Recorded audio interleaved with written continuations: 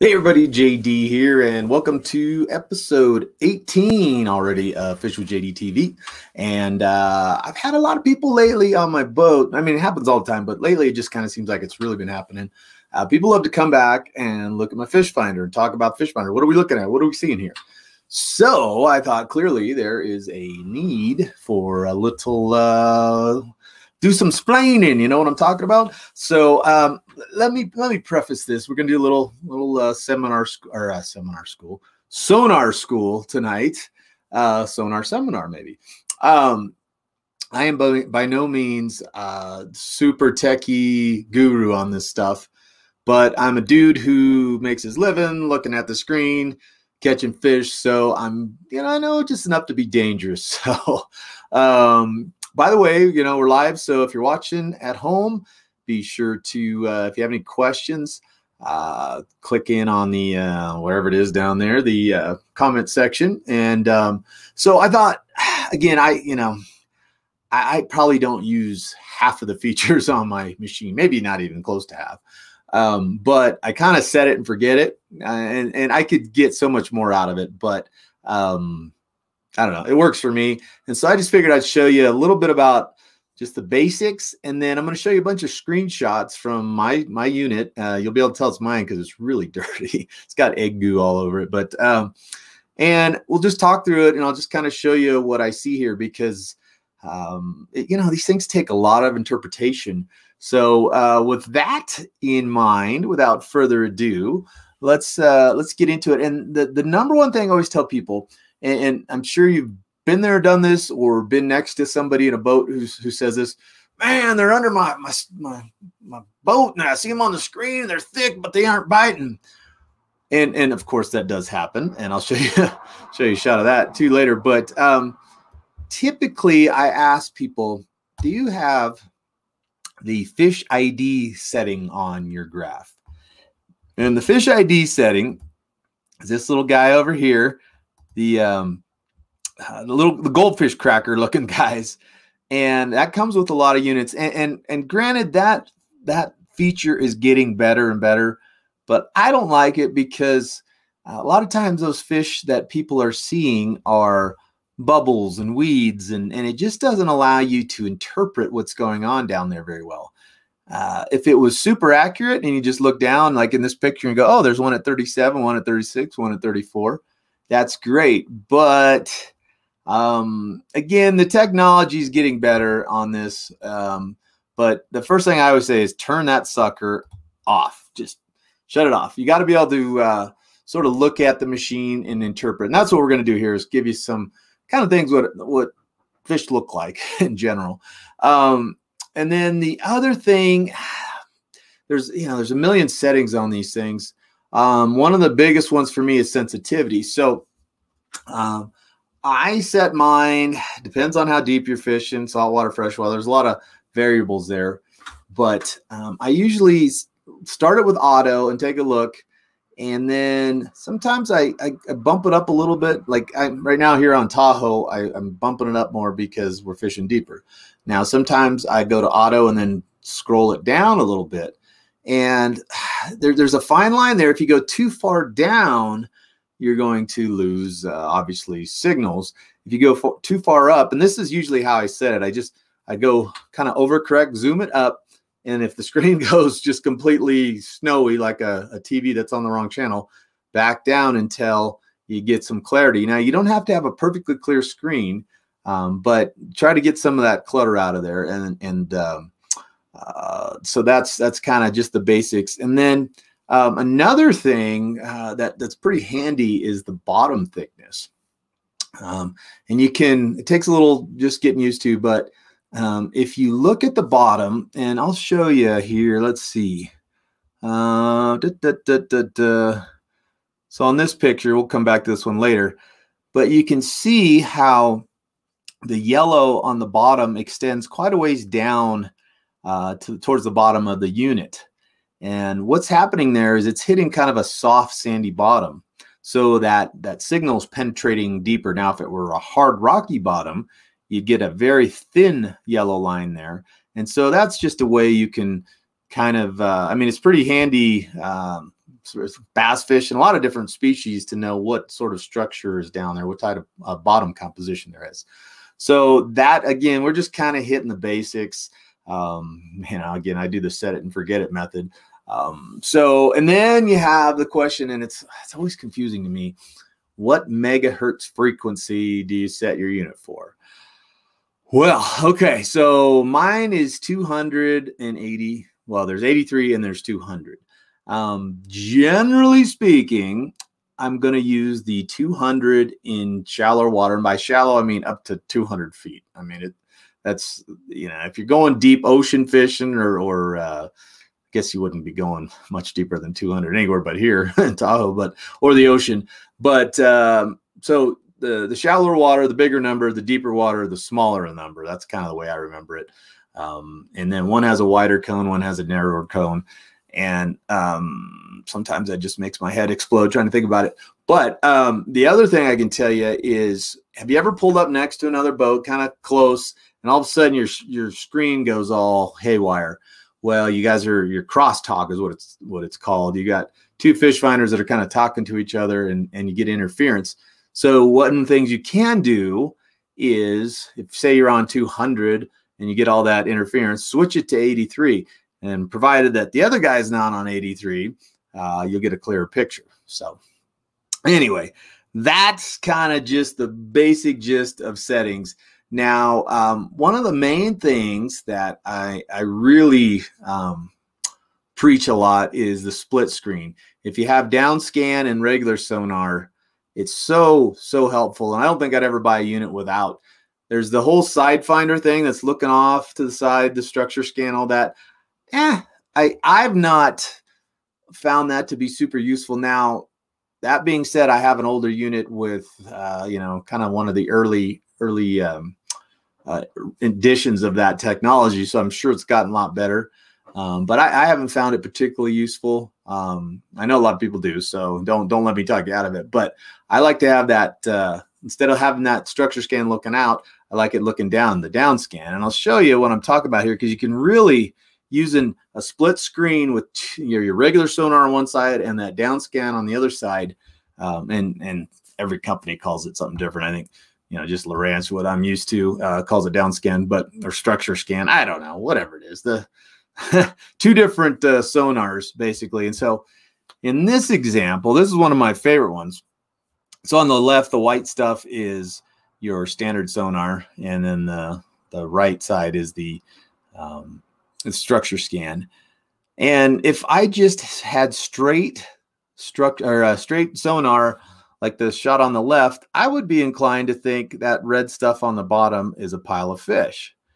Uh, however, you can clearly see every branch on uh, that tree that you don't want to drop your lures into. So that kind of stuff really uh, makes this structure scan uh, split screen thing really useful to me. And I, I, run it like this pretty much all the time. Um, okay, so here's another example. Uh, left side, I might uh, very much consider uh, what I'm seeing there as a pile of fish. And then if you look to the right, very clearly, you can tell that uh, no, those are those are long weeds, and uh, so uh, it's just, it's really helpful. Let me show you a couple more examples here. Um, here we go. Uh, so look on the left, you have where the arrows are. I'm actually pointing out three fish, which would be hard to necessarily think were fish. Those are sturgeon. And um, they're so tight to the bottom that uh, you know, again, you you might just pass right over those and not even think twice about it. But then with the structure scan to the right, you can clearly see the separation in the target between the the target and the bottom, and uh, and then you go, oh, those those those are fish. No kidding. So uh, a couple more on the split screen idea here. Um, let's go here. Uh, is that the same one? No, Similar though, similar. Three three dots, and then uh, kind of uh, on the left side, it's a little muddy. Some kind of red marks that could be fish, not fish. You're not totally sure. Uh, and then you look at compare and contrast it with the other side and go, oh yeah, those those are fish. And then uh, here's another one that's that's pretty interesting. Um, so on the left, those are pretty convincing looking, almost perfect uh, uh, arch shapes as fish. And then you look over on the the structure scan side, and what you're looking at are three pilings that just uh, gave off an echo that uh, looked pretty fishy on the uh, the left side. So um, I got one more example here. Oh, and this one's this one's interesting too. Um, so on the left side, you've got a school of fish. I believe these were stripers. I, yeah, I think those are stripers. Can't remember exactly. Uh, and got some beautiful egg goo on my my screen there, man. I need some Windex. Uh, but anyway, on the left side, you see uh, what looks like a school of fish that are about five feet thick, you know, from 10 feet to 15 feet. What's happening there, though, is the signal is not getting through all those fish. And you look at that same school on the right screen, and you can see that it goes clearly from 10 to 20 feet or 23 feet. I mean, it's it's a way bigger school than you think. And um, so again, just running the split screen is really something that I think uh, uh, just gives me a much better idea of what I'm looking at. Now, um, when I'm fishing Tahoe up here, the I, I don't know if it's just a have an older unit, um, but that that downscan stuff really doesn't do much down deeper than about oh, I don't know 80 feet or something. So uh, up here is kind of the exception. I don't don't use it much. Um, okay, so uh, before we go on, let's see. We got some questions here. Um, so Ted is asking tips for HDS 10 settings on the river. Uh, well, I think I kind of uh, uh, covered that a little bit, but um, you know, 200 megahertz. Um, I'd run the split screen for sure on the river, and I assume we're talking like um, you know salmon, striper, that kind of stuff, um, fishing. But um, anyway, uh, that's uh, that's kind of the gist of it. Uh, you know, I have a friend in Washington or Oregon who runs the Sidefinder in the river. Now he's fishing little coastal rivers, and he can turn the Sidefinder on, and literally shown me screenshots. I wish I'd thought about it. Uh, I would have posted one up here where you can see the fork and the tail of the fish, and and so he fishes uh, a lot of eggs under floats, and he just cruises around till he sees a a pot of kings to his left or right. And then when he sees them, he flops his bait over there and and is extremely effective in catching fish. Um, so anyway, um, that I again I haven't really uh, really found up that um, to be super uh, effective yet, but um, for me, but you know, don't don't let me uh, talk you out of it. Okay. Turn it off. Oh, uh, you going uh, going old man in the sea style there, Kevin? Just uh, uh, just going for it. uh, let's see what else we got going here. Um, Jonathan Roth, up, JD Mac Daddy? Nice double hookup there the other day. Ah, yes, yes. Gotta love the double hookups. Uh, thanks for checking in. Um, and then we got a couple more here. Let's see. Prop Wash Aviation. What's up? How's it going, buddy? And then uh, one more here. So, what's the best sonar to own these days? Ah, that's a good question, James. Um, well, the uh, the simple answer is the one that works best for you. Um, you know, I don't know. I've been a Lowrance guy, and I don't really have any allegiance to them. I'm not getting them uh, for free or anything. Um, I've just it's kind of what I'm comfortable with. I almost went with a, a Humminbird for my new boat and um, just, I don't know, just chickened out and went with what I was comfortable with. They're all good. Um, you just have to kind of, um, again, um, whatever whatever feels good to you what feels most intuitive and uh, they're all you know they're all pretty close i think um, there's some new you know the live stuff where you can actually see the tail beats and stuff and I don't know. That's kind of new technology, and I'm usually kind of like to lay back and wait for them to hammer the, the d- details out on that. I'm usually a couple uh, additions behind, so. Um, uh, but it it's pretty cool stuff, and you know, it's funny. Uh, uh, people say sometimes, you know, hey, isn't that cheating? Isn't isn't uh, having the fish finder uh, totally cheating? And it's like, well, I, I, guess, except for the fact that they still have to bite. And I'll show you a prime example. Uh, so this was the other day, right here, um, and you can see I've got Mackinaw stacked from uh, oh, about 80 to 130 feet deep and we couldn't get one of those to bite right there. so it doesn't always mean you're going to catch fish. But uh, anyway, so uh, a couple more comments here. Uh, let's see. Any reports out of Pyramid? Um, Pyramid, as far as I know, is still closed to all uh, all fishing and all visitors. So um, I would check before you before you head out there.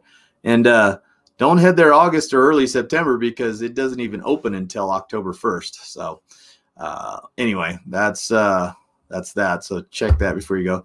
Um, okay, so we got some more questions coming in. I will get to you guys, but let's uh, let's get back into it a little bit here. So um, we did the split screen thing.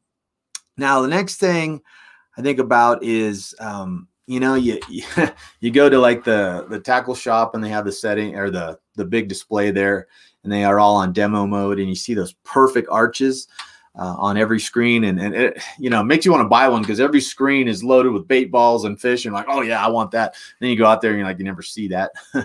Um, well it's it's all in how the signal hits the fish and so let me show you here uh, da, da, da.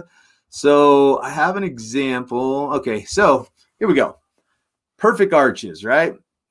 That's that kind of looks almost like one of those demo screens. And uh, what's happening there is I'm putting along at, I don't remember exactly, but uh, you know, a couple miles an hour. And when you when you're moving, what's happening is you get those perfect arches because there's uh, the signal bounces off part of the fish, and then at the front of the fish, the middle of the fish, and the end of the fish. And if he's just kind of uh, hanging loose and you go over him like that, when you're moving, you get that nice arch shape. Now, um, say if I'm not moving, I just stop over this fish like I was going to jig on them. They start to the the arches start to stretch out a little bit into more like lines, and so if those fish aren't moving and I'm not moving, they're just sitting underneath me. What you're going to get is straight lines, and I just showed you this picture, but uh, there you go. You can see how they go from arches to straight lines depending on if you or the fish are moving. So um, if you notice that fish are a straight line under you like that, that either means they're swimming with you if you're moving or you're stopped and they're stopped. So um, that you don't always have to have the perfect arches. And here's here's another example of uh, this one's kind of cool because you've got um, a bunch of kind of straight lines, and in the middle of this one, you see a line coming down and and a bunch of uh, kind of short lines. That's a so the, the the line coming down the middle is a spoon falling down, and then as it bounces up and down, that's the spoon jigging. And then to the right, you can see that uh, some fish kind of got up in there and looked at that jig, and then they all kind of went down from you know where they were at 95 or whatever that is down to 110. So in that case, the jig kind of spooked the fish. So, um, you know, all these are little bits of information that you can use to think, okay, why did I scare them there? Did, uh, you know, was the jig wrong color, too big, too much action? Um, so uh, again, it's, it's pretty cool just to kind of start interpreting what you see down there. Um, now, one of the things, uh, you know, that you're looking for besides those uh, arches or not so perfect arches are uh, bait balls. You know, that's that's a key to a lot of fish in fresh and salt saltwater. And this is an example of uh, it's, it's 30 um, it's 30 feet deep here, and the fish finder's reading 18.5 because it can't get through the bait school. Now, had I had the split screen on that unit, uh, it probably would have showed all the way down to the bottom. But in this case, you've got bait from yeah, it's basically 10 feet thick, from 20 to 30 feet. And when you see bait like this, um, you know, anytime you, are around bait, it's a good thing. Sometimes you'll see those fish arches in the middle, all that stuff. That's a good sign. Usually, when I see something like this, I'm not totally stoked on it because uh, I feel like those fish that are down like that aren't getting pressured. Usually, fish, uh, predatory fish, will come up from the bottom and chase them up, right? So if these fish are down, I mean, they might be getting hit on by birds, but they're to me that looks like a relaxed bait school, if there if there is such a thing. Now, what you prefer to see is something more like this. So we want that bait ball. You got right in the middle of the screen, just a perfect ball of bait, and then we have three predators coming up and eat them. This uh, eating them. And this was on, uh, I think this was Lake Berryessa, Northern California, and those were landlocked Chinook uh, beaten up on on threadfin shad. So when you see something like that, you know those fish are actively, uh, you know, they're balled up, which means they're scared. Something's uh, getting them into that uh, ball shape, rounding them up. Usually some predators around. And what I've found when uh, when fishing on bait balls like this, uh, the tendency is to want to run your gear right through the the middle of the bait ball. Uh, I usually will run like if you're downrigger fishing, say, or um, spooning for fish like this in this situation, I'm going to try to go a little below the bait ball or just on the top edge of it. The um, in, in this case, seeing those fish right there, um, I'm going to fish right below it um, instead of right in the middle of it. I think if, if you put your your your bait right in the bait ball, uh, sometimes uh, you know the the predators can't can't see what's going on. So okay, here's another similar one. Um, same kind of thing. This is what we like to see. The the red blob there is a big wad of of kokanee, and in this case, uh, mackinaw are feeding on them. Those are the the archy shapes below them, and uh, um, you know the kokanee are all balled up because in this case they are the bait fish. And uh, if you're not such, a good sign if you're fishing for kokanee because I never like really fishing for scared fish. But if you are uh, targeting the Mackinaw, this is a good scenario right here because you've got predators with the food source all balled up and uh, they're in attack mode. So here's another similar uh, situation here. So we've got a bait ball, and uh, some predators. And I don't remember; these are probably stripers in that depth of water. I can't can't remember exactly. Um, but you got predators down at the bottom, all those kind of wiggly lines, and then you can see I've got it highlighted with a yellow arrow there.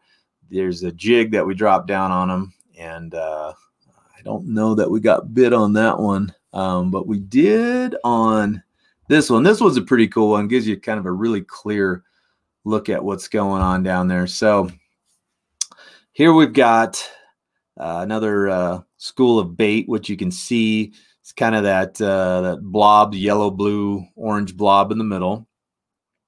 Then uh, you see the line of the lure falling down, and then there's uh, one striper on the left there coming in and attacking the bait ball, and then you've got stripers below as well.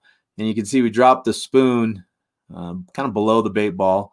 And uh, doesn't look like anybody attacked that one either, actually.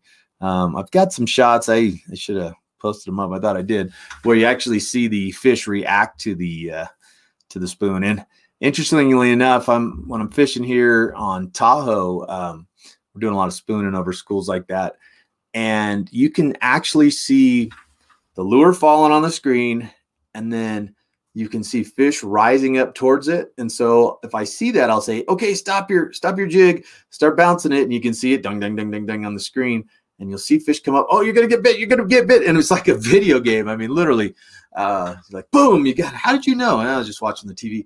Uh, it's like an Xbox game or something. But uh, like on that screenshot I showed you, uh, this one where they were not biting, um, we would see the jig fall and then we'd dance it above them, and you'd see them come up, sometimes 10 feet or more to greet it, and then they go, and uh, uh, it's it's frustrating, but it's really cool to just see what's going on. If you didn't have a graph uh, that was showing you all that, you'd think maybe you're not even anywhere near the fish. So um, pretty neat stuff. Okay, let's go back to a few comments here. Let's see what we got. Da, da, da.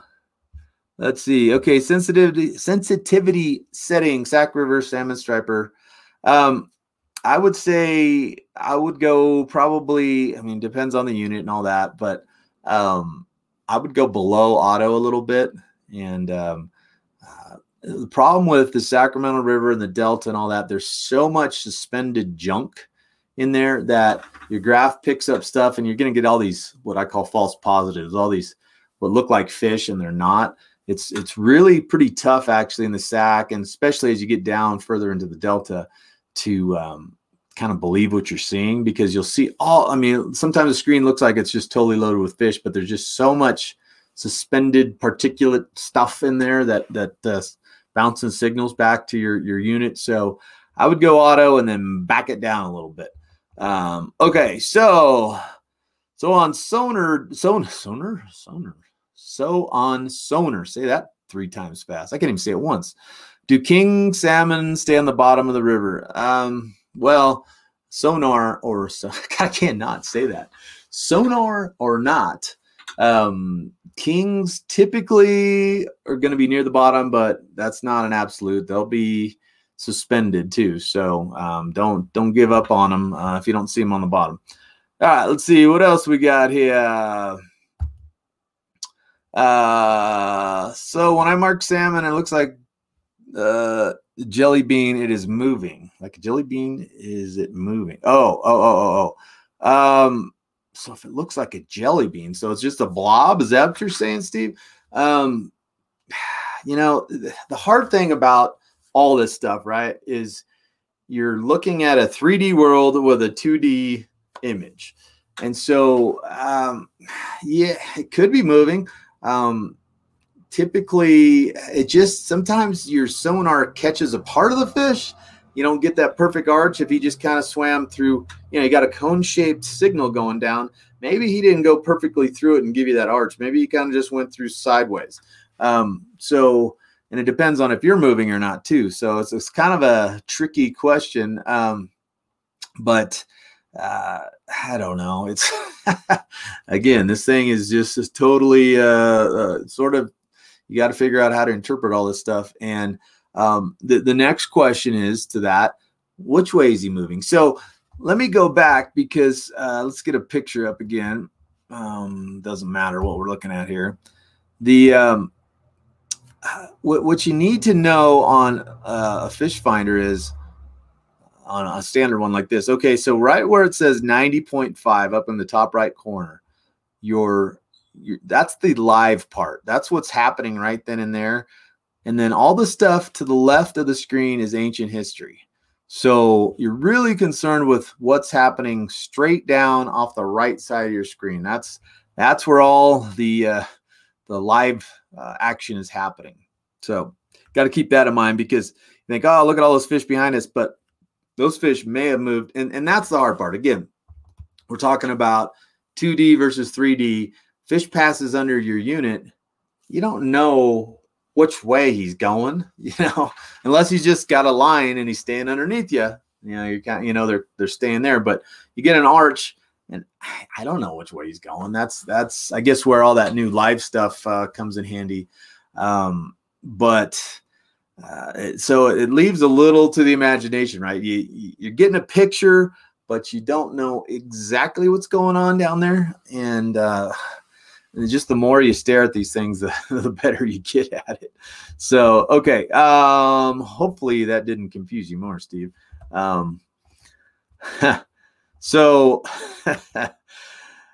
Ah, I don't even know who that is. Peter Lemongello, you the man, and why are you so sexy? Or how come you're so sexy? Well, I work hard at it, Peter. So uh, thanks for checking in. uh, I I suspect I know who that is, but I'm not.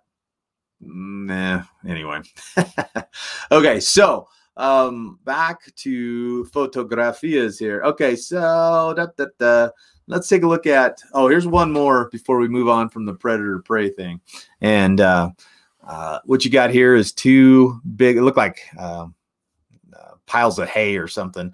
Those are kokanee schools. And then to the far right, uh, you've got a couple predators, which are Mackinaw, uh, kind of working those schools. Now, uh, the line, the horizontal line down uh, towards the bottom there, that is a downrigger. And um, here's another shot for you. Um, a couple downriggers going over school of kokanee or schools of kokanee. And um, what sometimes the downrigger, I mean, it's really cool that you can see it on the screen and then you can see where the fish are and make real real precise adjustments onto, uh, you know, if you see some fish at a different depth, you can drop that downrigger right down to them. Um, the sometimes the, the downriggers will it depends on where your transducer is mounted and where your downrigger uh, are mounted on your boat and how big the ball is and all this you know there's a bunch of factors but you can get much more uh, interference from the downriggers where it actually kind of clogs up your screen and, and um, gets harder to read. This one's I like this a lot. This was on my little boat and uh, two downriggers down, and, and you can really see everything going on. Now that uh, that little line above each downrigger, that is the release clip. If you think about it, when you tighten, you put your your stuff in the clip, drop your stuff down, and then you tighten the the you know crank down on the reel once your rod's in the holder. That release clip points almost straight up because it's under tension. And so that's what you're seeing there. Um, and then, you know, take a look at the, the, the little arches on the top of the screen, right under the, the word Lowrance. I don't know why we get those. I don't pay any attention to those. Those to me just, uh, they must be some sort of sub, submerged particles or something that, that give off fish vibes. And again, that's why I don't like to have the fish symbols because those will clearly shows fish. Generally speaking, I'm not believing it. And I'm very skeptical when I look at my screen. I always think it's lying to me. So I have to be pretty convinced. And so in this case, those upper ones below the Lowrance, eh, I don't buy it.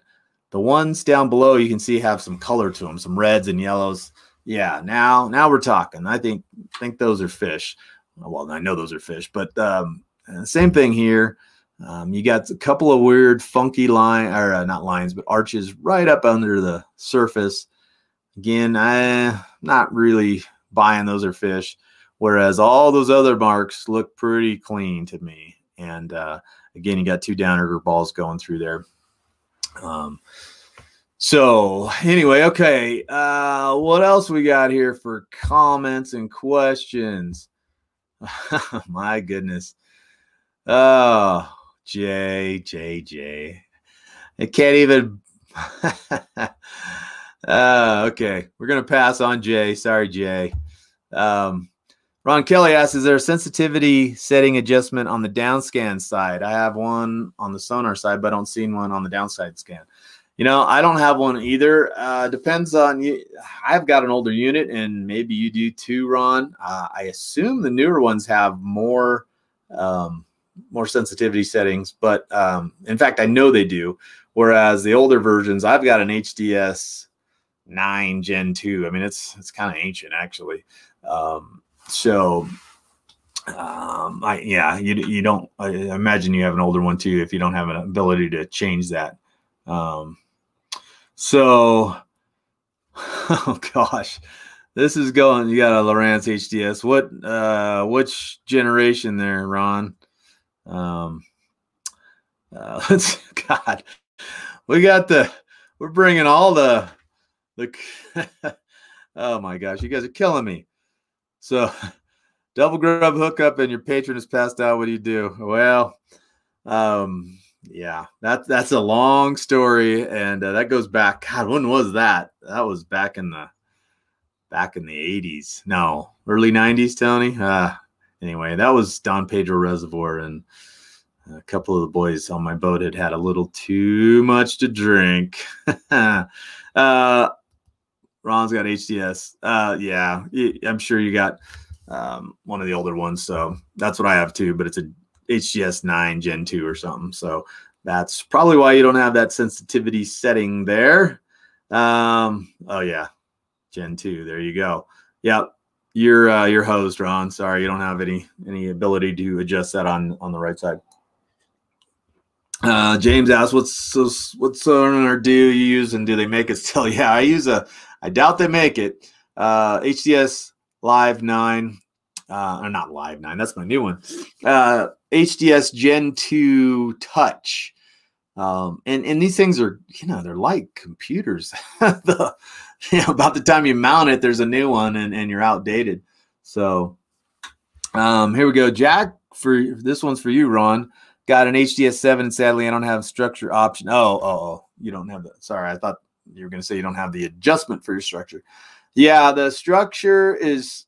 You might be able to add that, Jack, because it's pretty stinking useful. Again, you know, you go back to some of those pictures, especially like uh, you know, again, my my favorite one here with the the tree. Let's see, let's get rid of your your comment there so it's not in the way.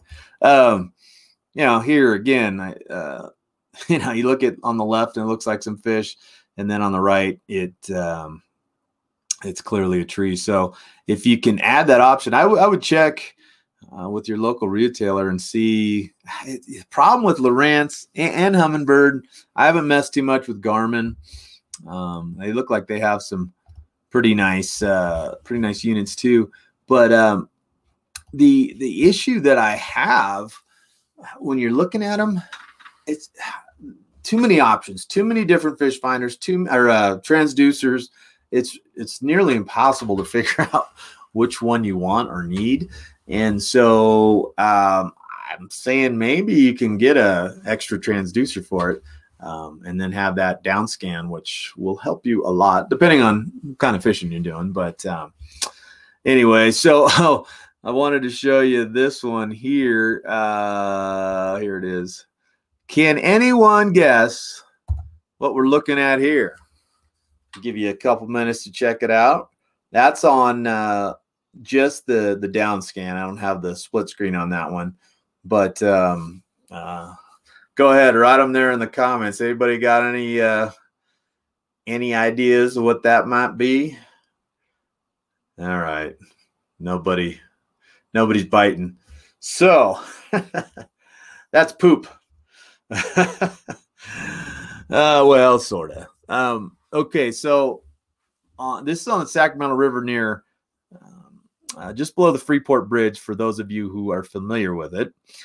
And there is a 10 foot in diameter pipe that runs perpendicular to the flow of the river. So it runs from bank to bank, essentially. And in that uh, that pipe has, I think it's got 100 one foot ports that uh, release effluent from the wastewater treatment plant there nearby. And so what you see under the 0.00 is the the pump or the uh, pipe itself. It's kind of half buried in sand. And then that cloud going from left to right is the wastewater. Um, you know, they they filter out the solids and they they chlorinate it, but uh, that's that's basically poop coming out of the poop pipe. So oh man, sometimes you don't want to see what's down below you. All right, let's see. We got some other uh people uh let's see. Julie our favorite fisher gal of the north. Inversion layer great topic. I've definitely learned a lot tonight. Totally off topic but where can i snag that sweet hat?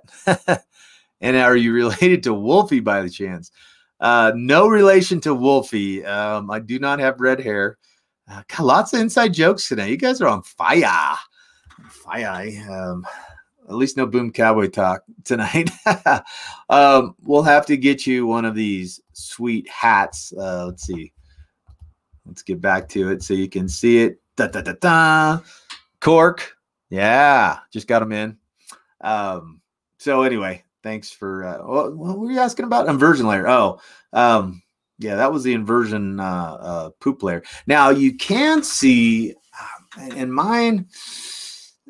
I don't know. Uh, maybe I got to adjust the sensitivity, but you can see thermoclines on these things, and those are really critical to when you're summertime trout trolling. You know that thermoclines where that cold and, and hot water uh, layer that's the most oxygenated layer, oxygenated layer. The water's right there. And so those trout typically will hang in that thermocline. And so you'll see it kind of, it's a little bit like this. Um, that, that again is bait fish. But if you kind of compress that a little bit and raise it up off the bottom, thermocline will often look like kind of a fuzzy line like that. Um, and typically, you want to be fishing right in or around a thermocline in the summertime when uh, when you're doing stuff like trout trolling. So, anyway, uh, what else? Uh, anybody else? Let's see. Any more comments? Um, cold water. Um, not sure exactly what you're asking there, Brian. What what uh, unit to use in cold water? I don't think the the temperature makes so much difference as the um, uh, fresh versus salt.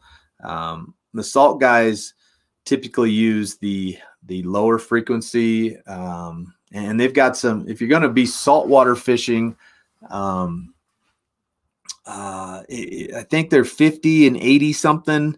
I don't. I'm not out there much, so because I'm a puka, but um, 50 80 uh, megahertz something like that is is going to be your best uh, best bet on the uh, the saltwater ones and so um, and then the freshwater again the 200 to uh, 83 okay what else we got here oh boy some of you guys i'm gonna have to uh uh let's see that was his response to your what is this question? Oh, copy.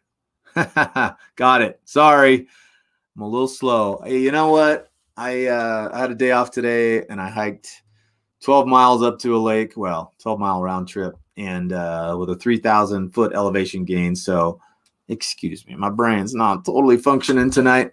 but uh, yes, you're right, Jack. Thanks for being the voice of reason there. Um, Let's oh no, what's we got here? Isn't water the most dense at oh, I don't know. You gotta spell it right first, my man. I don't know. I don't know. That question is above and beyond my pay grade. Um, and so let's see, James.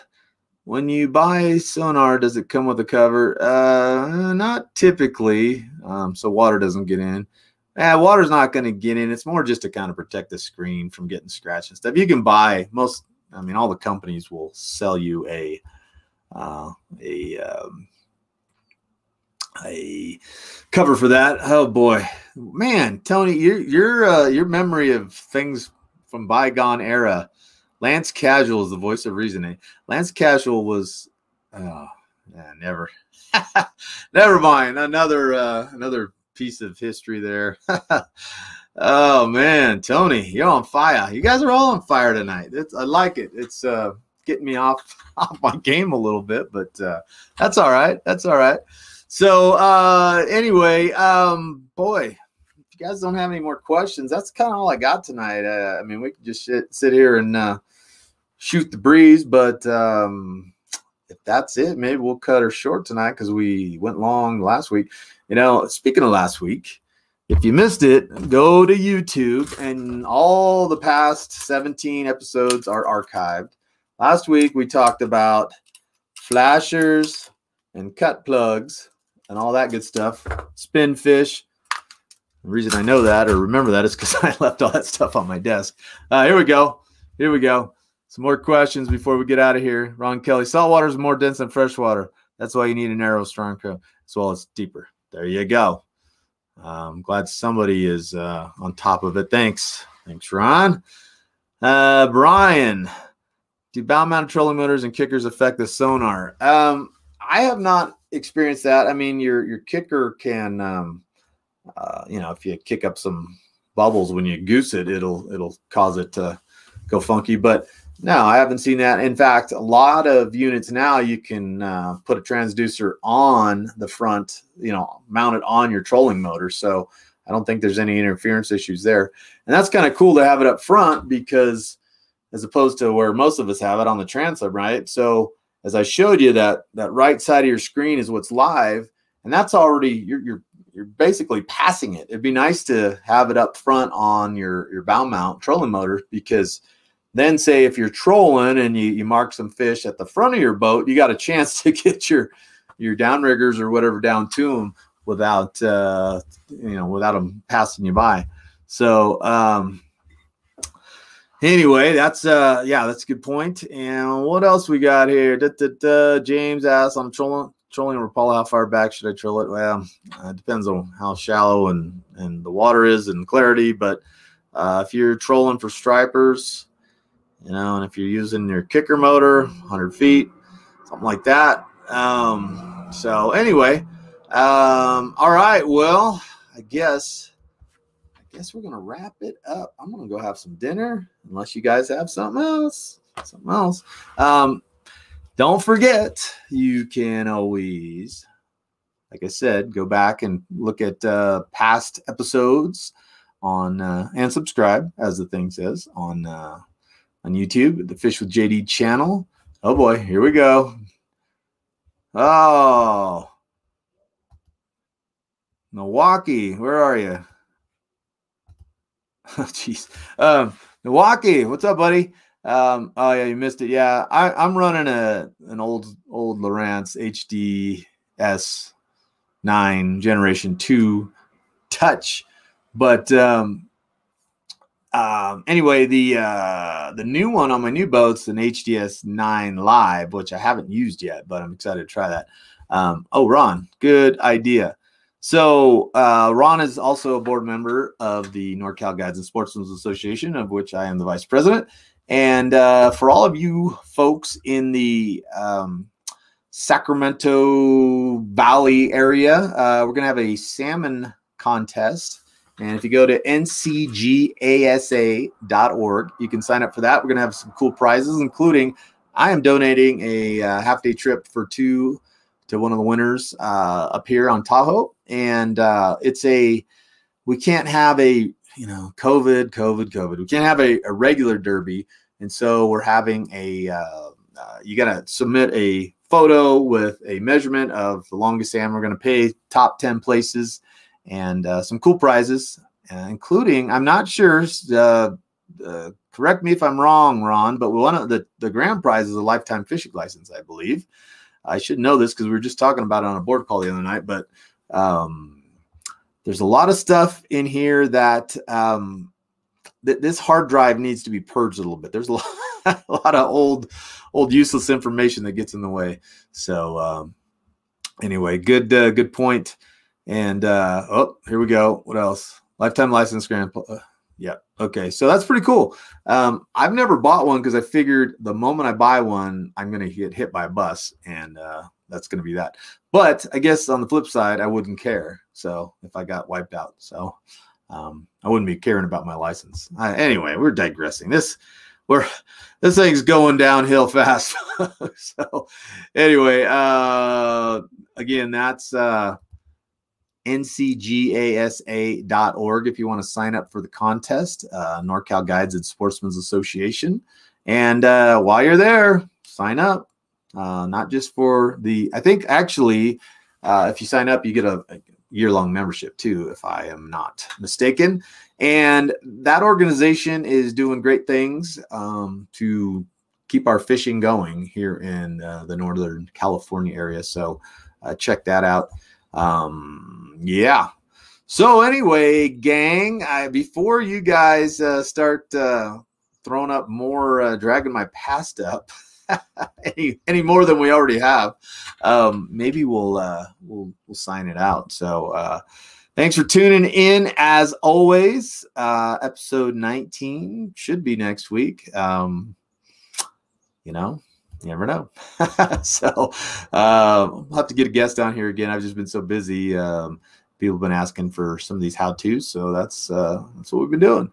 So uh, you guys have a good night and a good weekend coming up, and uh, we will uh, catch you catch you next time. Thanks for tuning in. See ya.